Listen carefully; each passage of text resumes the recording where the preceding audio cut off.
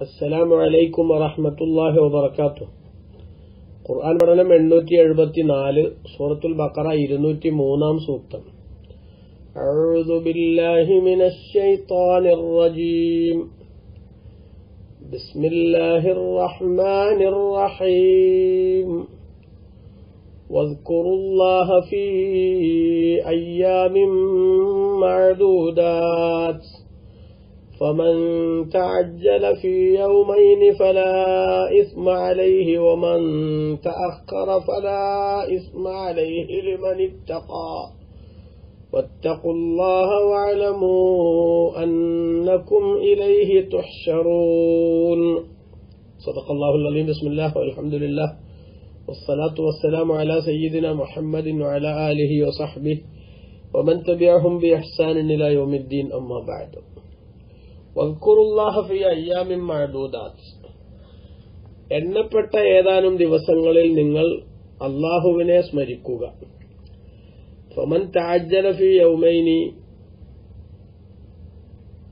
അപ്പോൾ ആരെങ്കിലും രണ്ടു ദിവസം കൊണ്ട് കർമ്മങ്ങൾ അവസാനിപ്പിച്ച് മടങ്ങാൻ ധൃതിപ്പെട്ടാൽ ഫല ഇസ്മ അലൈഹി അവന് യാതൊരു കുറ്റവുമില്ല.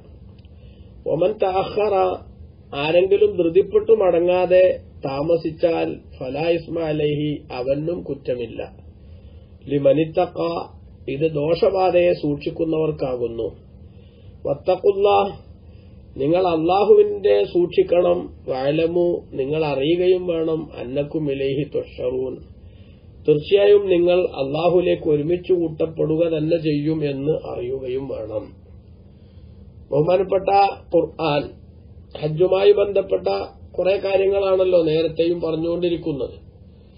അവിടെ നേരത്തെ മാലൂമത്തായ ദിവസങ്ങൾ അയ്യാമും മാലൂമാത്തിൽ നിങ്ങൾ അള്ളാഹുവിനെ ഓർക്കണമെന്ന് അള്ളാഹു സുബാനഹുവത്താല മറ്റൊരു സ്ഥലത്ത് പറഞ്ഞിട്ടുണ്ട്.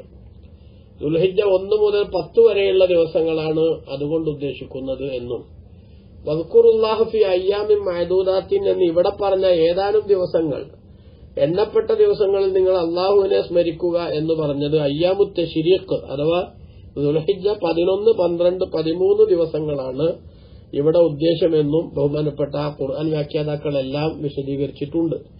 അതുകൊണ്ട് പ്രധാനമായും ഉദ്ദേശിക്കുന്നത് മിനയിൽ രാപ്പാർത്ത് ഓരോ പതിനൊന്ന് പന്ത്രണ്ട് പതിമൂന്ന് ഇതിലെ മൂന്ന് ദിവസത്തിന്റെയും പകൽ സമയത്ത് ലുഹറോടുകൂടെ മൂന്ന് ജംറകളിലും കല്ലെറിയാനുള്ള സമയം പ്രവേശിക്കും. ആ കല്ലേറിന്റെ സമയത്തുള്ള തെക്കുബീറുകളൊക്കെ പറ്റിയാണ് ഇവിടെ പ്രധാനമായും സൂചിപ്പിക്കുന്നത്. എന്നാണ് ബഹുമാനപ്പെട്ട വ്യാഖ്യാതാക്കളിൽ പലരും ഇവിടെ നിരീക്ഷിച്ചിട്ടുള്ളത്. ബഹുമാനപ്പെട്ട ഇമാം റാസിർ അലി അള്ളാഹുവിന്റെ തന്റെ തഫ്സീറിൽ രേഖപ്പെടുത്തുന്നത് കാണാം. അള്ളാഹു സുബാനഹു താല ഇവിടെ വൽക്കുറുല്ലാഹഫി അയ്യാമിൻ മഹദൂദാത്ത് എണ്ണപ്പെട്ട ദിവസങ്ങളിൽ നിങ്ങൾ അള്ളാഹുവിനെ സ്മരിക്കണം അവന്റെ ദിക്റ് കൊല്ലണം എന്ന് പറഞ്ഞത്. അതുകൊണ്ട് ഉദ്ദേശിക്കുന്നത് ദുൽഹിജയുടെ പതിനൊന്ന് മുതൽ പതിമൂന്ന് കൂടിയാണ്. പതിനൊന്ന് പന്ത്രണ്ട് പതിമൂന്ന് ഈ എന്ന ശരീരത്തിന്റെ ദിവസങ്ങളാണ്. അവിടെ വിക്റ് എന്ന് പറഞ്ഞതിന്റെ പ്രധാനപ്പെട്ട ഉദ്ദേശം കല്ലേറിന്റെ സമയത്തുള്ള വിക്റുകളാണ് പ്രധാനമായും ഉദ്ദേശിക്കുന്നത് എന്നും ബഹുമാനപ്പെട്ട പണ്ഡിതന്മാർ ഇവിടെ വിശദീകരിക്കുന്നുണ്ട്. അതോടൊപ്പം തന്നെ ബഹുമാനപ്പെട്ട ഇമാം റാജു അലി അള്ളഹാന്ന് പറഞ്ഞു അൽ മുറാദ് ബിൻ ദിക്രി ഫി ഹാദിഹിൽ അയ്യാം. ഈ ദിനങ്ങളിൽ ഉള്ള ദിഖർ എന്ന് പറഞ്ഞത് പതിനൊന്ന് പന്ത്രണ്ട് പതിമൂന്ന്. ഈ അയ്യാം മഹദൂദാത്തിലെ ദിഖർ എന്ന് പറഞ്ഞതുകൊണ്ട് ഉദ്ദേശിക്കുന്നത് അൽ അദ്ദിഖുർ ഉന്തൽ ജമറാത്ത് ജംറകളുടെ സമീപത്ത് വെച്ചുള്ള ദിക്കറാണ് ഫൈനഹു യുക്കബിറുമാ കുല്യ ഹസാത്തിൻ. എല്ലാ കല്ലുകളുടെ ഓരോ കല്ലിന്റെ കൂടെയും തക്ബീർ ചൊല്ലണം. അത് സുന്നത്തുണ്ട്. മൂന്ന് ജംറകളിൽ എറിയാനുണ്ട്. ഓരോ ജംറയിലും ഏഴ് വീതം കല്ലുകളാണ് എറിയേണ്ടത്. ഓരോ ദിവസത്തെ ഏറിന്റെയും സമയം അതാതു ദിവസത്തെ ലോഹറോടുകൂടെ ആരംഭിക്കുകയും അയ്യാമുത്ത ശരിയൊക്കെ തീരുന്നത് വരെ നിലനിൽക്കുകയും ചെയ്യും അതിന്റെ സമയം എന്നാണ് ആ വിഷയത്തിലെ നിലപാട്. എന്നാൽ ഓരോ ജംറ ഒന്നാമത്തെ ജംറയിലെ ഏറ് പൂർത്തിയാക്കിയതിനു ശേഷം വേണം രണ്ടാമത്തെ ജംറയിൽ എറിയാൻ. അത് പൂർത്തിയാക്കിയിട്ട് വേണം മൂന്നാമത്തെ ജംറയിൽ എറിയാൻ. അങ്ങനെ ജംറകൾക്കിടയിൽ ക്രമം പാലിക്കൽ നിർബന്ധമാണെന്ന് ബഹുമാനപ്പെട്ട ഇമാം നവീർ അലി അള്ളാഹുവിനും അടക്കമുള്ളവരൊക്കെ വിശദീകരിച്ചിട്ടുണ്ട്. അപ്പൊ ആ ജംറകളിൽ എറിയുന്ന സമയത്ത് ഓരോ കല്ലെറിയുന്ന സമയത്തും അള്ളാഹു അക്ബർ ചൊല്ലുന്നതാണ് ഇവിടെ പറഞ്ഞതിന്റെ പ്രധാനപ്പെട്ട ഉദ്ദേശം. അതോടൊപ്പം തന്നെ ഹാജിമാർ പിന്നെ ഹജ്ജിന്റെ പ്രവർത്തനങ്ങളുമായി ബന്ധപ്പെട്ട് മിനയിൽ നിന്ന് മുസ്ദലിഫയിൽ നിന്ന് മടങ്ങിയതിനു ശേഷം മിനയിലെത്തി അയ്യാമത്ത് ശിരിയിലേക്ക് പ്രവേശിക്കുന്നതിന് മുമ്പ് പെരുന്നാളിന്റെ അന്ന് ജംറത്തുൽ അക്കബയിൽ അഥവാ മൂന്നാമത്തെ ജംറയിൽ പെരുന്നാളിന്റെ അന്നുള്ള ഏഴ് കല്ലുകൊണ്ടുള്ള ഏറ്. ആ ഏറ് കഴിഞ്ഞ് തഹല്ലുലിന്റെ പ്രവർത്തനങ്ങളിൽ പ്രവേശിച്ചാൽ പിന്നീട് അവർക്ക് തെൽബിയത്ത് സുന്നത്തില്ല. അതുകൊണ്ട് തന്നെ ഹാജി ഹാജിമാരായിട്ടുള്ള ആളുകൾ ആ ദുൽഹിജയുടെ പത്താം ദിവസം അഥവാ പെരുന്നാളിന്റെ അന്ന് യൗമുൻ നെഹർ എന്ന് പറയുന്ന പെരുന്നാളിന്റെ അന്ന് ലുഹറു മുതൽ അയ്യാമത്തെ ശരീഖിന്റെ അവസാനത്തെ ദിവസമായ പതിമൂന്നിന്റെ അന്ന് സുബഹി ഉൾപ്പെടെയുള്ള നിസ്കാരങ്ങൾക്ക് ശേഷം നിസ്കാരം കഴിഞ്ഞ ഉടനെ തെക്കുബീർ ചൊല്ലണം. അതും ഇവിടെ ഉദ്ദേശമാണ്. എന്നിമാം റാസി റലിയല്ലാഹുന്ന് വിശദീകരിക്കുന്നു. ഹാജിമാരല്ലാത്തവർ തെക്കുബീർ ചൊല്ലേണ്ടത് മുമ്പ് നമ്മൾ സൂചിപ്പിച്ചിട്ടുണ്ട്. അറഫാ ദിനത്തിന്റെ സുബഹി മുതൽ അയ്യാമത്തെ ശരീരത്തിന്റെ അഥവാ ദുൽഹിജ പതിമൂന്നിന്റെ അസർ വരെ ഉള്ള എല്ലാ നിസ്കാരങ്ങൾക്ക് ശേഷവുമാണ് ഹാജിമാരല്ലാത്തവർ തെക്കുബീർ ചൊല്ലേണ്ടത്. അതേസമയത്ത് ഹാജിമാർക്ക് തെക്കുബീർ സുന്നത്തുള്ളത് പെരുന്നാളിന്റെ അന്ന് അഥവാ ദുൽഹിജ പത്തിന്റെ അന്ന് ലുഹറ് മുതൽ പതിമൂന്നിന്റെ അന്ന് സുബഹി ഉൾപ്പെടെയുള്ള നിസ്കാരങ്ങൾക്ക് ശേഷമാണ്. അപ്പൊ ആ തെക്കുബീറും അതേപോലെ തന്നെ കല്ലെറിയുന്ന സമയത്തുള്ള തെക്കുബീറും അതാണ് ഇവിടെ വദ്ക്കുറുല്ലാഹഫി അയ്യാമിൻ മഹദൂദാത്ത് എണ്ണപ്പെട്ട ദിവസങ്ങളിൽ നിങ്ങൾ അള്ളാഹുവിനെ ദിക്ർ ചൊല്ലുക അവനെ സ്മരിക്കുക എന്ന് പറഞ്ഞിട്ടുള്ളത്. എന്നാണ് ഇമാം റാസി റലി അള്ളാഹുന് വിശദീകരിക്കുന്നത്. അതാ മഹാൻ പറഞ്ഞത് അൽ മുറാദു ബിൽ ദിക്രി ഫി ഹാദിഹിൽ അയ്യാം അദ്ദിക്റു ഉണ്ടൽ ജമറാത്ത്. ജംറകളുടെ അടുത്തുള്ള ദിക്കറാണ് കുല്ലി ഹസാത്തി. ഓരോ കല്ലിന്റെ കൂടെയും അവൻ തെക്കുബീർ ചൊല്ലണം. അതോടൊപ്പം തന്നെ വദ്ദിക്റു ഇദ്ബാറസ്വല നിസ്കാരങ്ങൾക്ക് ശേഷമുള്ള തെക്കുബീറുമാണ് ദിക്കറുമാണ് ഇവിടെ ഉദ്ദേശം. വന്നാസ് ദാലിക അത് ജനങ്ങൾക്കിടയിൽ അഥവാ ഇമാമുകൾക്കിടയിൽ അഭിപ്രായ വ്യത്യാസമില്ലാത്ത വിഷയമാണ് അപ്പോഴൊക്കെ ദിക്ർ വേണമെന്ന്. ഇല്ലാന്നവും ഇഖ്തലഫൂ തെക്കുവീർ ചൊല്ലേണ്ടത് എവിടെയൊക്കെയാണ് എന്ന് സംബന്ധമായിട്ട് പണ്ഡിതന്മാർക്കിടയിൽ വ്യത്യസ്ത വീക്ഷണം നിലനിൽക്കുന്നുണ്ടെങ്കിലും എന്നിമാം റാജി അലി അള്ളാഹുന്നു വിശദീകരിച്ചിട്ടുണ്ട്. ഏതായാലും എണ്ണപ്പെട്ട ദിനങ്ങളിൽ നിങ്ങൾ ദിക്ർ ചൊല്ലുക അഥവാ കല്ലേറിന്റെ ദിവസങ്ങളിൽ കല്ലേറിന്റെ സമയത്ത് ദിക്ർ ചൊല്ലിക്കൊണ്ടാണ് ഏറ് നടത്തേണ്ടത് എന്ന് അള്ളാഹു സൂചിപ്പിച്ചു. ഇനി ഹാജിമാർക്കുള്ള ഒരു പ്രത്യേക വിഷയം പറയുകയാണ് ഫമൻ തഅജ്ജല ഫി അപ്പോൾ ഏതെങ്കിലും ആളുകൾ രണ്ടു ദിനത്തിൽ അവന്റെ അമലുകൾ പൂർത്തിയാക്കി ധൃതി കാണിച്ചു മടങ്ങാൻ ഒരുങ്ങിയാൽ ഫലായിസ്മാലഹി അവന് അതിന്റെ പേരിൽ കുറ്റമില്ല. അതായത് ഹജ്ജിന്റെ അമലുകളുടെ കൂട്ടത്തിൽപ്പെട്ടതാണല്ലോ ദുൽഹജ്ജ പതിനൊന്ന് പന്ത്രണ്ട് പതിമൂന്ന് എന്നീ മൂന്ന് അയ്യാമുത്ത ശരീക്കിന്റെ രാവുകളിൽ മിനയിൽ രാപ്പാർക്കലും. അതോടൊപ്പം തന്നെ ഈ മൂന്ന് പകലുകളിൽ മൂന്ന് ജംറകളിൽ കല്ലെറിയലും.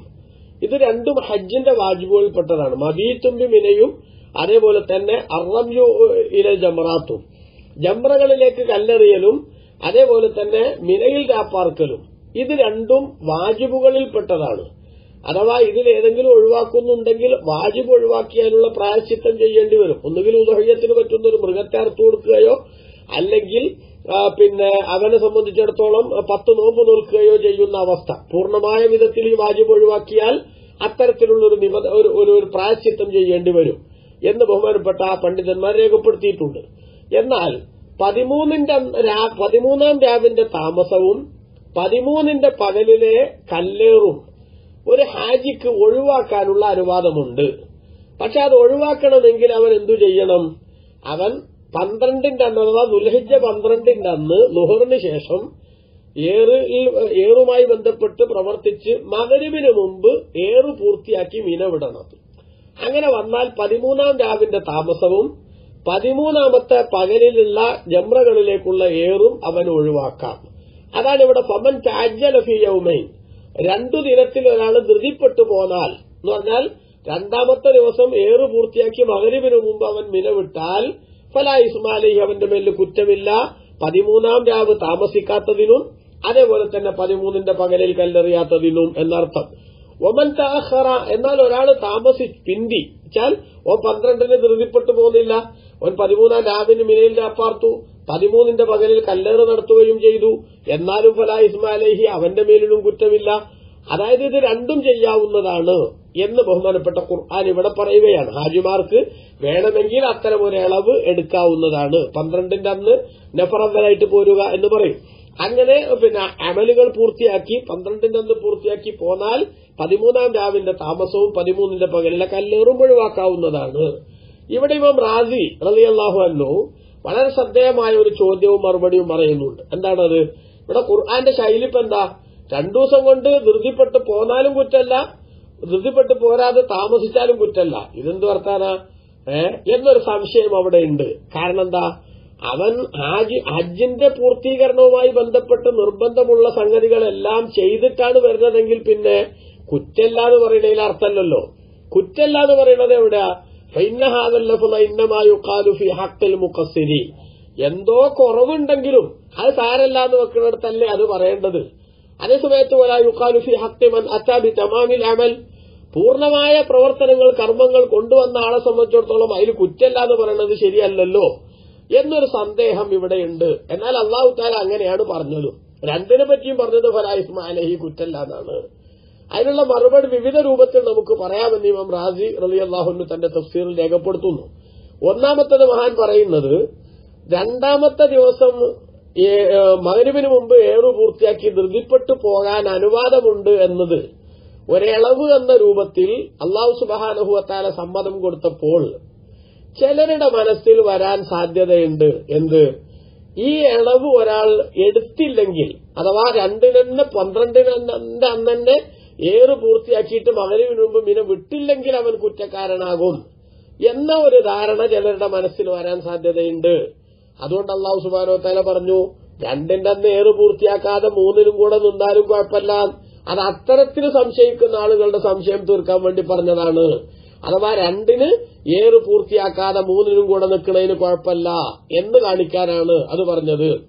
അതേസമയത്ത് ബഹുമാനപ്പെട്ട ഇമാം മറ്റൊന്ന് പറഞ്ഞു അന്നമിൻഹും മങ്കാനയത്ത അജ്ജലോ മിൻഹും മങ്കാനയത്ത അഹർ ചിലര് ഹജ്ജിന് വന്ന ഹാജിമാരുടെ കൂട്ടത്തിൽ ചിലര് പന്ത്രണ്ടിന്റെ അന്ന് ഏറ് പൂർത്തിയാക്കി മകനുവിന് മുമ്പ് മിനവിടും നഫറവലായിട്ട് പോരുന്നവരുണ്ടാകും. എന്നാൽ ചിലര് പതിമൂന്നിനും കൂടെ എറിഞ്ഞിട്ടേ പോരൂന്ന് വെച്ച താമസിച്ച ആളുകൾ ഉണ്ടാകും. എന്നാൽ ഈ രണ്ട് ടീമും തമ്മിൽ ഒരു ഡയലോഗ് ഉണ്ട്. അതെന്താ? സുമ കുല്ലു വാഹിദിമിനൽ ഫരീഖൈൻ. രണ്ടു കൂട്ടത്തിൽ നിന്ന് ഓരോരുത്തരും യായിബു അലൽ ഫേലഹു മറ്റവനെ കുറിച്ച് അവന്റെ പ്രവർത്തനത്തെ ആക്ഷേപിച്ചു പറയും. അതായത് താമസിച്ചവനെ പറ്റി പതിമൂന്നിനും കൂടെ താമസിച്ചവനെ പറ്റി പെട്ടെന്ന് എറിഞ്ഞു പോന്ന ആളെന്ത് പറയും? ഐ ഇങ്ങനെ അള്ളാഹു താല ഒരു ഇളവ് തന്നിട്ട് നീ അത് എടുത്തില്ലല്ലോ. അതുകൊണ്ട് നീ സുന്നത്തിനെതിരെ പ്രവർത്തിച്ചവനാണ് എന്ന് പറയും. അതേസമയത്ത് മൂന്ന് ദിവസമാണല്ലോ അള്ളാഹു താല യഥാർത്ഥത്തിൽ ഈ അജിന്റെ അമലുകൾ വെച്ചത് മിനയിൽ. ആ മൂന്ന് ദിവസം പൂർത്തിയാക്കാതെ വെറുതെ ധൃതിപ്പെട്ടു പോരുക എന്ന് പറഞ്ഞത് ഒരു സുഖമുള്ള ഏർപ്പാടല്ല. അതുകൊണ്ട് നിങ്ങളെ ഭാഗത്താ ശരി കുറവ് എന്ന് മറ്റവർ മൂന്ന് ദിവസം നിന്നവർ ഇവരെയും ആക്ഷേപിക്കാൻ സാധ്യതയുണ്ട്. എങ്കിൽ ആ രണ്ട് വിഭാഗവും പരസ്പരം ആക്ഷേപിക്കുന്നതിനോ അല്ലെങ്കിൽ ഞങ്ങളുടെ പ്രവർത്തനം ശരിയാണ് നിങ്ങളുടേത് ശരിയല്ല എന്ന സന്ദേഹം വെച്ചു പുലർത്തുന്നതിനോ യാതൊരു അടിസ്ഥാനവുമില്ല എന്ന് കാണിക്കാനാണ് അള്ളാഹു സുബാനഹുലി എന്ന് രണ്ട് കൂട്ടരെ പറ്റിയും പറഞ്ഞിട്ടുള്ളത്. അതുകൊണ്ടാണ് അങ്ങനെ രണ്ടു കൂട്ടരെ പറ്റിയും ആ വിധത്തിൽ ഒരു പരാമർശനം അള്ളാഹു നടത്തിയത് നിമം റാസു അലി അള്ളാഹു എന്ന് പറഞ്ഞു. അതോടൊപ്പം തന്നെ ബഹുമാനപ്പെട്ട ഖുർആൻ ഇവിടെ ഈ ധൃതിപ്പെട്ട് രണ്ടു ദിവസം കൊണ്ട് പോന്നാൾക്കും കുറ്റല്ല അതേപോലെ തന്നെ മൂന്ന് ദിവസം നിന്നാൾക്കും കുറ്റല്ല എന്ന് പറഞ്ഞതിന്റെ ഉദ്ദേശം പ്രധാനമായും ആ രണ്ട് വിഭാഗത്തിന്റെയും ദോഷം പൊറുക്കപ്പെടാൻ പറ്റും വിധത്തിലുള്ള സുഹൃതം ചെയ്താണ് അവർ പോരുന്നത്. എന്ന് കാണിക്കാൻ വേണ്ടിയാണ് അള്ളാഹു സുബാനുഭവത്താല കുറ്റമില്ല എന്ന പരാമർശനം ഇവിടെ നടത്തിയിട്ടുള്ളത് എന്നാണ് മറ്റൊരു നിരീക്ഷണം. ഇമാം തന്നെ പറഞ്ഞു അന്നഹാദൽ കലാമ ഇന്നമാ മുബാലഗത്തൻ ഫി ബയാനി അന്നൽ ഹജ്ജ ആസാം ഹജ്ജ് എന്ന് പറയുന്നത് ദോഷങ്ങളൊക്കെ മനുഷ്യനിൽ നിന്ന് നീങ്ങിപ്പോകാനും അവന്റെ കുറ്റങ്ങളൊക്കെ പൊറപ്പിക്കാനും പറ്റിയ ഒരു വലിയ സുഹൃതമാണ്. എന്നത് ശക്തിപ്പെടുത്തി പറയുന്ന ഒരു ശൈലിയാണ് അള്ളാഹു സുബാനുഹുവത്താല ഇവിടെ സ്വീകരിച്ചത്. നിങ്ങൾ കണ്ടില്ലേ മുത്തുനബി സല്ലാസ്ലമ തങ്ങളുടെ ഹദീസിൽ വന്നിട്ടുണ്ടല്ലോ മൻ ഹജ്ജ ഫലം ഫലം യഫ്സുഖ് ഖറജ കയൗമ ആരെങ്കിലും ഹജ്ജിന് തീരുമാനമെടുത്തത് മുതൽ അരുതായ്മകൾ പ്രവർത്തിക്കാതെയും തമ്മാടിത്തരങ്ങൾ ചെയ്യാതെയും വൈകാരിക അഭിനിവേശനങ്ങൾ അഭിനിവേശങ്ങൾക്ക് വഴിപ്പെടാതെയും ഒരാൾ തന്റെ ജീവിതത്തെ ക്രമീകരിച്ചാൽ അവന്റെ ഉമ്മ അവനെ പ്രസവിച്ച ദിവസം പോലെ അവൻ ദോഷങ്ങളിൽ നിന്ന് പുറപ്പെടുന്നതാണ് എന്ന് നിർസുലത നിങ്ങൾ പറഞ്ഞിട്ടുണ്ടല്ലോ. അതുകൊണ്ട് ഹജ്ജിന് പോയ ആളുകൾ ആ ഹജ്ജ് കുറ്റമറ്റ വിധത്തിൽ നിർവഹിക്കുമ്പോൾ അവർക്ക് അള്ളാഹു സുബാനുഹുവ അവരുടെ രണ്ടു കൂട്ടർക്കും പന്ത്രണ്ടിൽ നിന്ന് പോന്നവർക്കും പതിമൂന്ന് വരെ നിന്നവർക്കുമൊക്കെ അവരുടെ ദോഷങ്ങളൊക്കെ പുറത്തു കൊടുക്കുന്നുണ്ട് എന്ന വലിയൊരു പ്രഖ്യാപനമാണ് അള്ളാഹു സുബാനുഹുവ ഇവിടെ നടത്തിയത്. എന്നാണ് ഇതിന്റെ ഉദ്ദേശമെന്ന് ബഹുമാനപ്പെട്ട ഇമാം റാജി അലി അള്ളാഹു ഇവിടെ വിശദീകരിക്കുന്നുണ്ട്. ഏതായാലും ആ നിലയ്ക്ക് പന്ത്രണ്ടിനെന്ന് പോരണമെങ്കിൽ പിന്നെ മകരുവിന് മുമ്പ് ഏറു പൂർത്തിയാക്കി മിനവിടുക എന്ന സംഗതി വേണം എന്നുകൂടി ഇമാം റാസർ അള്ളാഹിനോട് വിശദീകരിച്ചിട്ടുണ്ട്. വാല മന്നൽ ഫുഖഹ കാലു ഇന്നമായ ഫിൽ രണ്ടു ദിവസത്തിലുള്ള ആ ധൃതിപ്പെട്ടു പോരുക എന്ന് പറയുന്നത് അനുവദിക്കപ്പെടുന്നത് ലിമൻ താജ്ജല കമല ഉറൂബി ശംസിമിനൽ യൗമൈനി. രണ്ട് ദിനത്തിൽ നിന്ന് സൂര്യാസ്തമ രണ്ടാമത്തെ ദിനം സൂര്യാസ്തമയത്തിന് മുമ്പായി മിനവിടുന്ന വിധത്തിൽ പോന്ന ആളുകൾക്ക് മാത്രമാണ്. അതേസമയത്ത് അവർ സൂര്യാസ്തമയത്തിന് മുമ്പ് ഏറ് പൂർത്തിയാക്കി മിനവിടുന്ന സാഹചര്യം ഉണ്ടായില്ലെങ്കിൽ അവർ മൂന്നാമത്തെ പതിമൂന്നിന്റെ രാവിന് കൂടി താമസിക്കലും അതുപോലെ തന്നെ പതിമൂന്നാമത്തെ പകൽ ഏറും കൂടെ കഴിഞ്ഞതിന് ശേഷമേ പോരാൻ പാടുള്ളൂ. എന്ന് കൂടി ഇമാം ഷാഫി അലി അള്ളാഹുവിന്റെ മധബിലെ നിരീക്ഷണം വെച്ചുകൊണ്ട് ഇമാം റാജു അലി അള്ളാഹുവിനോട് വിശദീകരിച്ചിട്ടുണ്ട്. എന്നിട്ട് അള്ളാഹു പറഞ്ഞു ഏതായാലും ഇത് ചെയ്തവർ ധൃതിപ്പെട്ട് പോന്നവർക്കും തെറ്റില്ല അതുപോലെ നിന്നവർക്കും തെറ്റില്ല എന്ന് പറഞ്ഞിട്ട് ലിമനിത്തക്ക ഇത് അള്ളാഹുവിന്റെ ദോഷബാധയെ സൂക്ഷിച്ച ആളുകൾക്കാണ് എന്ന് അള്ളാഹു തല പറഞ്ഞു. കുറ്റല്ല എന്ന് പറഞ്ഞത് തക്കവയോടുകൂടെ ജീവിച്ചവർക്കാണ് എന്ന് പറഞ്ഞാൽ അതിന്റെ അർത്ഥം എന്താ? ഇമാം റാസി അള്ളാഹു പറയുന്നു അന്നൽ ഹാജ എർജിയു ഹാജി ദോഷം പൊറുക്കപ്പെട്ടവനായിട്ട് മടങ്ങും. അവന്റെ വയസ്സിൽ നിന്ന് ഭാവി ജീവിതത്തിൽ അവൻ അള്ളാഹുവിനെ സൂക്ഷിച്ച് ജീവിക്കുന്നുണ്ട് എന്ന നിബന്ധനയോടെ വലം യർത്തക്കിപുമായ ബിഹിൽ അതാബ് ശിക്ഷ നിർബന്ധമാക്കുന്ന കുറ്റങ്ങൾ ചെയ്യുകയും ചെയ്തില്ല എന്ന നിബന്ധനയോടുകൂടെയാണ് അള്ളാഹു സുബാനുഹുവ താല ഇവിടെ ഇത് പറയുന്നത്. അതിന്റെ അർത്ഥം ഇത്തിക്കാലി സലഫമിൻ അഴമാലിൽ ഹജ്ജി. ഹജ്ജിന്റെ പ്രവർത്തനങ്ങളിൽ ഒരാൾ അവലംബിച്ച് ഞാൻ ഹജ്ജ് ചെയ്തല്ലോ ഇനി എനിക്ക് എന്ത് കുഴപ്പം കാട്ടിയാലും ഒരു ഒരു പ്രശ്നമല്ല. എന്ന് ധരിക്കരുത്. മറിച്ച് ഹജ്ജ് ചെയ്തവന് കുറ്റല്ല എന്ന് പറയുന്നത് ആ ഹജ്ജുമായി ബന്ധപ്പെട്ട പ്രവർത്തനങ്ങൾ കഴിഞ്ഞ് പിന്നീട് അവന്റെ ജീവിതത്തിൽ ഞാൻ കഴബ കണ്ട കണ്ണിന്റെ ഉടമയാണ്. മദീനയിൽ അഷ്റഫുൽ ഹൽക്ക് സല്ലാ ശ്രമ തങ്ങളുടെ പുണ്യഭൂമി കണ്ട കണ്ണിന്റെ ഉടമയാണ്. തെൽബിയത്ത് ചൊല്ലിയ നാവാണ് എനിക്കുള്ളത്. തവാഫ് ചെയ്യാൻ വേണ്ടി നടന്ന കാലാണ് എനിക്കുള്ളത്. അതുപോലെ തന്നെ ഹജറുൽ അസ്മദ് ചുംബിക്കാൻ സാധിക്കാതെ വന്നപ്പോ ആ ഹജറുൽ അസ്മദിലേക്ക് ആംഗ്യം കാണിച്ച് മുത്തിയ കൈയാണ് എനിക്കുള്ളത്. എന്നിങ്ങനെ തുടങ്ങി അവന്റെ വലിയ ഭാരിച്ച ഉത്തരവാദിത്വത്തെക്കുറിച്ച് ആലോചിച്ച് ജീവിതത്തെ പ്രത്യേകം തക്കവയിൽ ക്രമീകരിച്ച് മുന്നോട്ട് പോകുന്ന സാഹചര്യം ഉണ്ടാകണം. അവനാണ് ഈ പറഞ്ഞതിന്റെ ഗുണം ലഭിക്കുക എന്നാണ് ഇതിന്റെ ഉദ്ദേശം എന്ന് ബഹുമാനപ്പെട്ട ഖുർആൻ ഇവിടെ സൂചിപ്പിക്കുകയാണ് അതാലിമരിത്തക്ക ഈ പറഞ്ഞതൊക്കെ അള്ളാഹുവിന്റെ ദോഷമാരെ സൂക്ഷിക്കുന്ന ആളുകൾക്കാണ് എന്നാണ് ഒരു വ്യാഖ്യാനം. മറ്റൊരു വ്യാഖ്യാനം ഈ പാപമോചനം ലഭിക്കണമെങ്കിൽ ഹജ്ജ് വേളയിൽ അവന്റെ ജീവിതത്തിൽ നിന്ന് അരുതായ്മകളൊന്നും വരാതെ അവൻ ഹജ്ജിന്റെ പ്രവർത്തനം തുടങ്ങിയത് മുതൽ തീരുന്നത് വരെ അല്ലെങ്കിൽ ഹജ്ജിന് തീരുമാനിച്ചത് മുതൽ ഹജ്ജ് അവസാനിക്കുന്നത് വരെ ഒരു അരുതായ്മയും വരാതെ സൂക്ഷിക്കണം. അപ്പോഴേ അവന്റെ ഹജ്ജ് മബറൂറാവുകയുള്ളൂ. മബറൂറായ ഹജ്ജിനാണ് നബിസ്വല്ലാസ്ലമ തങ്ങൾ അൽ ഹജ്ജുൽ മബറൂർ ലൈസലഹു ജസാഉന്നില്ലൽ ജന്ന. മബറൂറായ ഹജ്ജിന് സ്വർഗത്തിൽ കുറഞ്ഞ പ്രതിഫലം മതിയാവില്ല എന്ന് റസൂലുല്ലാഹി സല്ലാഹു അലൈഹി സ്വലമ തങ്ങൾ പറഞ്ഞത്. അതുകൊണ്ട് ലിമനിത്തക്ക എന്ന് പറഞ്ഞത് ഹജ്ജ് വേളയിൽ തക്കവയോടുകൂടെ ജീവിച്ചവനാണ്. ഈ ദോഷം കുറ്റങ്ങളില്ല എന്ന് അള്ളാഹു പറഞ്ഞത് എന്നാണ്. ഇനി അതോടൊപ്പം തന്നെ വത്തക്കുള്ള അള്ളാഹുവിനെ നിങ്ങൾ സൂക്ഷിക്കണം എന്ന് പറയുന്നത് ബഹു അമ്രും ഫിൽ മുസ്തഖബിലി. ഭാവിയിൽ നിങ്ങളുടെ ഭാഗത്തുനിന്ന് തെറ്റുകൾ വരാൻ പാടില്ല. ഹാജിയാണ് എന്ന നിലയ്ക്ക് വലിയ വാരിച്ച ഉത്തരവാദിത്വം തന്റെ ചുമലിലുണ്ടെന്ന് മനസ്സിലാക്കി. ഇനി അങ്ങോട്ടുള്ള ജീവിതത്തിൽ കുറ്റങ്ങളിലേക്ക് പോകാതിരിക്കുന്ന സമീപനം സ്വീകരിക്കണം. വയലമു അന്നക്കുമിലേഹി തൊഷറൂൻ നിശ്ചയം നിങ്ങൾ അള്ളാഹുലേക്ക് ഒരുമിച്ച് കൂട്ടപ്പെടുക തന്നെ ചെയ്യും എന്നും നിങ്ങൾ ഓർക്ക നിങ്ങൾ അറിയണം. അഥവാ അള്ളാഹുവിന്റെ വിധിവിലക്കുകൾ പാലിച്ച് ജീവിച്ചവർക്ക് അള്ളാഹു താല വിചാരണയുടെ സമയത്ത് സന്തോഷം നൽകുമെന്നും അതേ സമയത്ത് വിചാരണയുടെ സമയത്ത് സന്തോഷിക്കാതെ വിഷമം അനുഭവിക്കേണ്ടി വരുന്നത് ഭൂമിയിൽ ജീവിക്കുന്ന സമയത്ത് കോച്ചറായിത്തരവുമായിട്ട് നടന്നവർക്കാണെന്നും ബഹുമാനപ്പെട്ട ഇമാം റാസു അള്ളാഹ് പറഞ്ഞു വാന്നബായതൽ മൗത്തിലാതാറയില്ലൽ ജന്നാവിന്നാർ മരണശേഷം ഒന്നുകിൽ സ്വർഗം അല്ലെങ്കിൽ നരകം ഇത് രണ്ടാലൊന്നേ ഉണ്ടാവൂ. അതുകൊണ്ട് സ്വർഗത്തിന്റെ ലിസ്റ്റിൽ പേര് ചേർക്കപ്പെടാൻ ആവശ്യമായ വിധത്തിൽ ജീവിതത്തെ ഉത്തരവാദിത്വത്തോടുകൂടെ കാണുന്ന വിധത്തിൽ ഹാജി മാറണം എന്നുകൂടി അള്ളാഹു താല അറിയിച്ചിരിക്കുകയാണ്. അള്ളാഹുവിന്റെ വിചാരണയെ ഓർത്തുകൊണ്ട് ഇനി അങ്ങോട്ടുള്ള ജീവിതം നയിക്കണം എന്നാണ് സൂചിപ്പിച്ചത്. അള്ളാഹു നമുക്ക് തൗഫീഖ് നൽകട്ടെ. ആമീൻ. വസല്ലാഹു വസ്ലം വബാറക അല സയ്യിദിന മുഹമ്മദിൻ വഅല ആലിഹി വൽഹംദുലില്ലാഹി റബ്ബിൽ ആലമീൻ. അലൈക്കും.